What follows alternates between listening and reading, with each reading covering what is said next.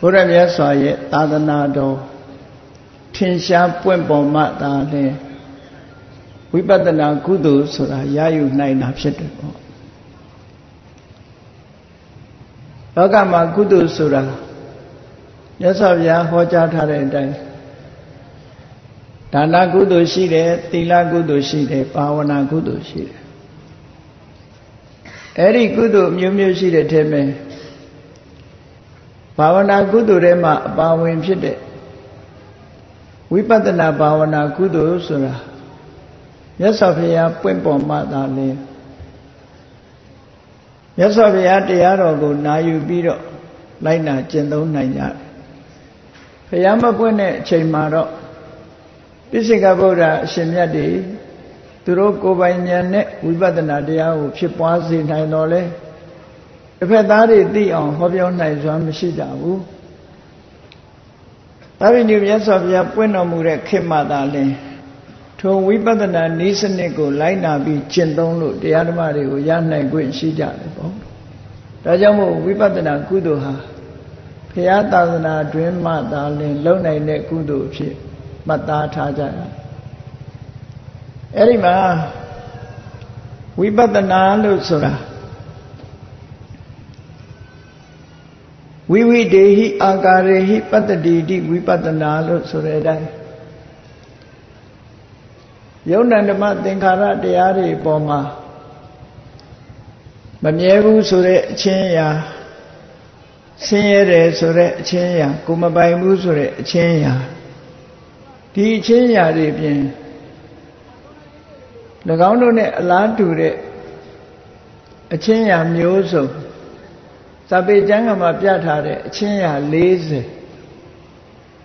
နေသဒုက္ခအနတ္တနဲ့ဆက်နွယ်ပြီးတော့လာတဲ့ရှုွယ်ရှုနည်း40ဒါကိုတော40လို့ခေါ်တာပေါ့အဲ့ဒီရှုွယ်ရှုနည်း40နဲ့ယုံနာနမသင်္ခါရတရားတွေကိုရှုနိုင်တဲ့ရှုမြင်နိုင်တဲ့အသိဉာဏ်မျိုးကိုဝိပဿနာလို့ခေါ်တာတနည်းအားဖြင့်ပြောမယ်ဆိုလို့ရှိရင် ဝိဆိုတာထူးခြားတဲ့ပတ္တနာရှုမြင်မှုတာမန်ပုဂ္ဂိုလ်တွေမြင်တဲ့အမြင်မျိုးမဟုတ်ဘဲနဲ့ထူးထူးခြားခြားမြင်နိုင်တဲ့အမြင်မျိုးအဲ့ဒီလိုအမြင်မျိုးဟာလည်းပဲမက္ကုသိုလ်ကိုရရှိစေနိုင်တဲ့ဝိပဿနာကုသိုလ်မျိုးပဲဖြစ်တယ်ပေါ့အဲ့တော့ကုသိုလ်ဆိုတာဘယ်လိုနည်းနဲ့ရနိုင်တယ်လဲလို့ဆိုလို့ရှိရင် မြတ်စွာဘုရားဟောထားတဲ့ဒေသနာတော်မှာယေကေစိကုသလဓမ္မာသဗ္ဗေတေယောနိသောမနတိကာရမူလကာလို့ဒီလိုဟောထားတဲ့အထက်ယေကေစိကုသလဓမ္မာဘယ်လိုကုသိုလ်တရားမျိုးပဲဖြစ်ဖြစ်ကုသိုလ်တရားမှန်သမျှလောကကြီးမှာရှိတယ်ဆိုတဲ့ကုသိုလ်တရားမှန်သမျှသဗ္ဗေတေအဲ့ဒီကုသိုလ်မှန်သမျှဟာ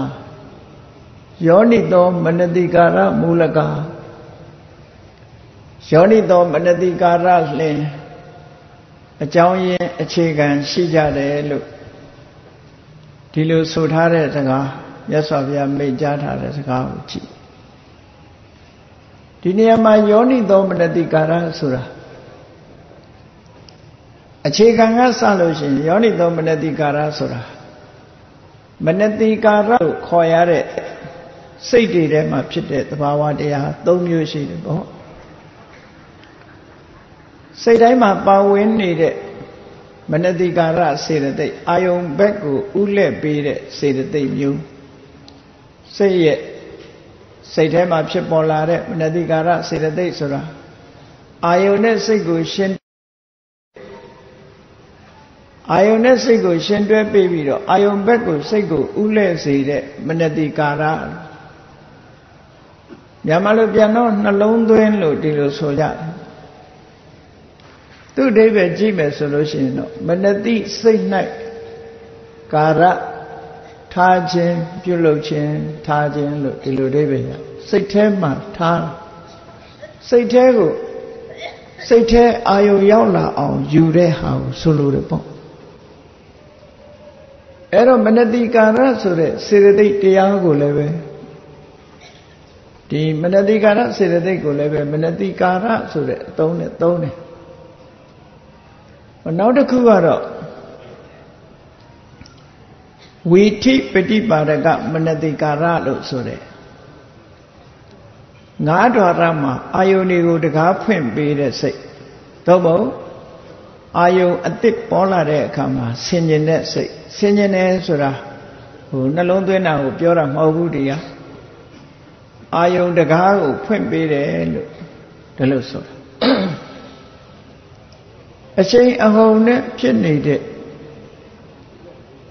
လူတွေရဲ့တဏ္ဍာမှာဖြစ်နေတဲ့ဥပမာမဲ့အိမ်မောကြနေတဲ့အချိန်မှာဖြစ်နေတဲ့စိတ်မျိုးကိုဘဝင်စိတ်လို့ခေါ်တယ်အဲ့ဒီဘဝင်စိတ်ဆိုတာကိုရပ်တန့်သွားစေပြီးတော့အသိဝင်လာတဲ့မျက်စိဘောက်ကပဲဖြစ်စေနားဘောက်ကပဲဖြစ်စေ နှာခေါင်းလျှာကာယမနကပဲဖြစ်စေဓာရ6ပါးမှာအသိဝင်လာဓာရ6ပါးတည်းကဓာရ5ပါးမှာအသိဝင်မျက်စိနာနာလျှာကိုလို့ဆိုတဲ့ဓာရ5ပေါက်ကနေဝင်လာတဲ့အစင်းအတန်အနတ်အရတာအထိတွေ့ဆိုတဲ့ဒီအာယုန်တွေကိုတကားဖွင့်ပေးလိုက်တဲ့စိတ်ကိုပိစတရဝေဇန်းစိတ်လို့ခေါ်တယ် အဲ့ဒီပိစတရဝေဇန်းစိတ်ကတကားဖွင့်ပေးလိုက်တဲ့အခါမှာသကုဝိညာဉ်စိတ်ကမြင်စရာအာယုံဆိုရင်သကုဝိညာဉ်စိတ်ကမြင်ရတယ်ကြားစရာအာယုံဆိုရင်သောတာဝိညာဉ်စိတ်ကကြားသိတယ်အနတ်ဆိုလို့ရှိရင်ကာဏဝိညာဉ်ရတယ်အယတာဝိညာဉ်စိတ်ကအယတာသိတယ်အထိတွေ့အာယုံဆိုလို့ရှိရင်ကာယဝိညာဉ်စိတ်ကထိတွေ့ထိတွေ့ကိုသိရှိတယ်လို့ ပိစရတဝေဇံဆိုတဲ့ဒီအဝေဇံစိတ်ဖြစ်မှမြင်သိကြားသိနံသိလျက်သိထိသိဆိုတဲ့စိတ်တွေဟာဖြစ်လာနိုင်စွာရှိတယ်ပေါ့ဒါကြောင့်မို့ငါးဒွါရမှာစိတ်တကားဖွင့်ပေးထားတယ်တကားဖွင့်ပေးတဲ့ပစ္စဒရဝေဇံစိတ်ကိုလည်းပဲမနတိကာရလို့ခေါ်တယ် သူကြတော့ရှေ့ကစကလုံးလေးတစ်ခက်တစ်ခုထည့်ပြီးဝီထိပฏิပါဒကဝီထိစိတ်တွေကိုဖြစ်ပေါ်စေဖို့အတွက်တကားဖွင့်ပေးတဲ့စိတ်လို့ဒါလည်းမနတိကာရလို့ခေါ်တယ်ဟောနောက်တစ်ခုကြတော့စိတ်ထဲမှာထင်းလာတဲ့အာယုံမနောဒွါရဆိုတဲ့စိတ်တကားမှာထင်းလာတဲ့အာယုံကိုတကားဖွင့်ပေးတဲ့စိတ်ကြတော့ မနောဒရာဝိသနာစိတ်လို့ခေါ်တယ်အဲ့ဒီမနောဒရာဝိသနာစိတ်ကြတော့သူတကားဖွင့်ပေးလိုက်တဲ့အခါမှာဒီအာယုံရဲ့အရသာကိုအရှိန်အဟုန်နဲ့ကျမ်းနာစွာခံစားနိုင်တဲ့ဇောစိတ်တွေဖြစ်လာပိစဒွါရအခိုက်မှာလည်းပဲဝုတ်ထောဆိုတဲ့နာမည်နဲ့ဇောဖြစ်အောင်ဒီမနောဒရဝဇန်စိတ်ကဆောင်ရွက်ပေးတယ်မနောဒရမှာလည်းပဲဇောဖြစ်အောင် ပိစဒရဝဇန်စိတ်ကဆောင်ရွက်ပေးတာမို့ဒီစိတ်ကိုတော့မနတိကာရလို့ခေါ်တဲ့အပြင်မှာရှေ့ကဇဝနပฏิပါဒကဇောကိုဖြစ်ပေါ်လာစေနိုင်တဲ့မနတိကာရလို့ဒါကအဘိဓမ္မာကျမ်းဂန်တွေမှာမနတိကာရ၃မျိုးဆိုတော့ခွဲခြားပြထားအဲ့တော့ကုသိုလ်လုပ်တိုင်းကုသိုလ်လုပ်တိုင်းဘုန်းကြီးတို့တွေကုသိုလ်ရဖို့ဆိုတာကုသိုလ်စိတ်ဖြစ်လာဖို့ဆိုတာနေရာမှာ ဟောဒီမနတိကာရရှိရမယ်လို့ဆိုတဲ့အခါအများအားဖြင့်တော့မနောဒရာဝိသနာကိုရည်ညွှန်းတယ်လို့လေဒီဆရာတော်ကြီးကဒီလိုဆိုတယ်သို့တော်လဲယောနိသောမနတိကာရဆိုတဲ့စကားလုံးမှာယောနိသောဆိုတာပါလာတဲ့အခါမှာမနောဒရဝေစမ်းစိတ်ကတော့မူလပထမမှန်တော်လဲပဲနောက်ပိုင်းရောက်တဲ့အခါယောနိသောမနတိကာရဆိုတာ တတိလဲပါမယ်ပညာလဲပါလာနိုင်တယ်တခြားသဘာဝတရားတွေလည်းပဲပါလာတယ်လို့ဒီလိုယူလို့ရတာပေါ့ဒါကြောင့်မို့ယောနိသောမနတိကာရကိုအနုလောမခန္တီဉာဏ်ထိအောင်စာပေကျမ်းကနေမှာယောနိသောမနတိကာရဆိုတာကိုဖွင့်ဆိုပြတာဖြစ်တယ်ပေါ့ဒါမို့ယောနိသောမနတိကာရဆိုတာသူ့ရဲ့အဓိပ္ပာယ်ကလမ်းမှန်တဲ့အနေနဲ့နှလုံးသွင်းတာ အဲ့တော့လမ်းမှန်တိုင်းနှလုံးသွင်းတယ်ဆိုကြတဲ့ကပညာမပါဘဲနဲ့လမ်းမှန်ကိုနှလုံးသွင်းလို့မရဘူးတတိမပါပဲနဲ့လမ်းမှန်ဆိုတာကိုနှလုံးသွင်းလို့မရဘူးယောနိသောဆိုတာတင့်လျော်စွာဆိုတာနီလန်ကြဥပါယသောပထသောဆိုတဲ့စကားလုံးတွေနဲ့တကယ်ကိုနီလန်မှန်မှန်ကန်ကန်စိတ်ထဲမှာနှလုံးသွင်းနိုင်မှကုသိုလ်ဆိုတာရတယ်လို့ဒီလိုပြောတာနော် ကိုယ်တဏ္ဍာမှာကုသိုလ်စိတ်တွေဖြစ်ဖို့ဆိုတာယောနိသောမနတိကာရရှိရမယ်တဲ့အဲ့ဒီယောနိသောမနတိကာရဝိပဿနာဉာဏ်ဖြစ်ဖို့လည်းပဲဝိပဿနာကုသိုလ်ဖြစ်ဖို့လည်းပဲယောနိသောမနတိကာရအရေးကြီးတယ်လို့ဒီလိုဆိုရမှာသူ့အဆင့်လိုက်သူ့အဆင့်လိုက်ဒါနကောင်းမှုဒါနကုသိုလ်ဖြစ်ဖို့လဲယောနိတော်မနတိကာရတီလကုသိုလ်ဖြစ်ဖို့လဲယောနိတော်မနတိကာရ ဘာဝနာကုသိုလ်သမထဘာဝနာပဲဖြစ်ဖြစ်ဝိပဿနာဘာဝနာပဲဖြစ်ဖြစ်ယောနိတော်မနတိကာရဆိုတာပါရမယ်အဲ့တော့ယောနိတော်မနတိကာရကိုဒီဘာသာပြန်ရတဲ့အခါကျတော့ wise attention လို့ဒီလိုဘာသာပြန်လေးရှိတယ် wise ဆိုတဲ့အဓိပ္ပာယ်က wisdom ဆိုတဲ့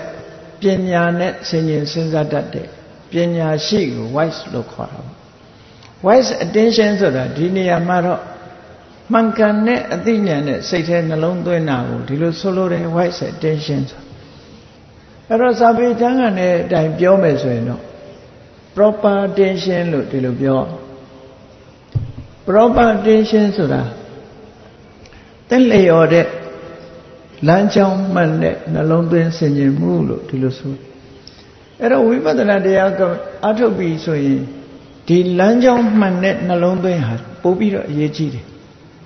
ပို့ပြီးတော့အရေးကြီးတယ်အေးဒါကြောင့်မလို့ဝိပဿနာရှုွယ်တော40ဆိုတဲ့နေရာမှာဘုရားဝတ္တဝင်သူတော်စင်တွေဟာမြတ်စွာဘုရားသာသနာတော်နဲ့မှကြုံတွေ့နိုင်မှသာသနာတော်နဲ့ကြုံတွေ့မှဝိပဿနာတရားဝိပဿနာကုသိုလ်ဆိုတာဖြစ်နိုင်တာဖြစ်သောကြောင့် မိမိတို့ရရှိထားတဲ့အခွင့်အရေးလေးကိုလက်မလွတ်စေပဲနဲ့တရားနာနေတဲ့အချိန်လေးပဲဖြစ်စေကိုယ်တဏ္ဍမှာရှိတဲ့ယုံနန္ဒမသင်္ခါရခန္ဓာ၅ပါးကို wise attention နဲ့ဖြစ်အောင်ယောနိတော်မနတိကာရနဲ့တွေးထပ်အောင်ဒီတရားကိုရွေးချယ်ပြီးတော့ဟောတာအခုလို့တရားပွဲတရားနာရင်လေးအချိန်ပိုင်းလေးမှာဒီအတွေးလေးတွေးလိုက်တာ အသေးအဖွဲလေးအသုံးမဝင်ပါဘူးလို့မအောင်မေ့လေးနဲ့ဒီအသိဉာဏ်ကများစွာအထောက်အကူဖြစ်စေနိုင်ပါလေကြည့်လေယတသရတာအမှုရှိတဲ့တငယ်ချင်းတွေဟာတခုသောဘဝမှာလူမှုကူညီရေးနာမှုကူညီရေးကိစ္စတွေကိုလုပ်ရင်းလူတကာ ကာယကံရှင်တွေကမတကြိုနိုင်တဲ့အလောင်းတွေကိုတကြိုရင်းကနေပြီးတော့အေးဒုက္ခနာကိုကြီးလည်းပဲဒီနေ့ဒီလိုပဲဖြစ်ရမှာပဲဆိုတဲ့တန်ဝေကစိတ်ကလေးဖြစ်ပွားခဲ့ဘူးတယ်အဲ့ဒီတန်ဝေကစိတ်ကလေးကိုအခြေခံပြီးတော့မှသူတို့ဟာမြတ်စွာဘုရားပွင့်လာတဲ့အခါမှာယန္နာဖြစ်ကိုရောက်သွားကြတာဒါကြောင့်မလို့အသေးဖွဲလို့မအောင်မေ့လေးနဲ့တရားဓမ္မနိုင်ယူတဲ့အချိန်လေးမှလည်းပဲ ကိုယ်တဏ္ဍာမှာရှိတဲ့ယုတ်တရားနံတရားဆိုတာတွေကိုအာယုံစိုက်မိအောင်တတိထားတတ်ဖို့လိုအပ်တယ်အဲ့ဒီတတိထားပြီးတော့မှန်မှန်ကန်ကန်နှလုံးသွင်းဆင်ញင်လိုက်မယ်ဆိုရင်ဒါကမက်ဖို့အတွက်မျိုးစိတ်လေးတစ်ခုကိုယ်မှာဖြစ်သွားနိုင်တယ်သာသနာတော်နဲ့ကြုံတွေ့တဲ့အချိန်မှာဒီမျိုးစိတ်လေးမရလိုက်ဘူးဆိုရင်နောင်ရဖို့အခွင့်အရေးဆိုတာအမတမခဲနေအေးဒါကြောင့်မို့လို့ ပဋိသင်္မိရမက္ခဆိုတဲ့ပါဠိတော်မှာလာတဲ့အတိုင်းဘုန်းကြီးတို့တွေဝိပဿနာရှုတဲ့အခါမှာယောနိသောမနတိကာရမှန်ကန်တဲ့နီးနဲ့နှလုံးသွင်းဆင်ခြင်တဲ့နီးကိုဖော်ပြထားတဲ့အချင်းရာ40ရှိတယ်အဲ့ဒီအချင်းရာ40ဆိုတဲ့စကားလုံးတွေကိုအနိစ္စတောဒုက္ခတောအနတ္တတောစသည်ဖြင့်ဖော်ပြတာဖြစ်သောကြောင့် တောဆိုတဲ့စကားလုံးလေးအဆုံးသတ်တာကိုကြည့်ပြီးမြန်မာပြည်မှာဆရာတော်ကြီးတွေကကမ္မထံဘာဝနာဟောကြားတဲ့ဆရာတော်ကြီးတွေကတော40လို့ခေါ်ခဲ့ကြတယ်ပေါ့အဲ့ဒီခေါ်အတိုင်းဝိပဿနာရှုွယ်တော40သို့မဟုတ်ဘာဝနာ40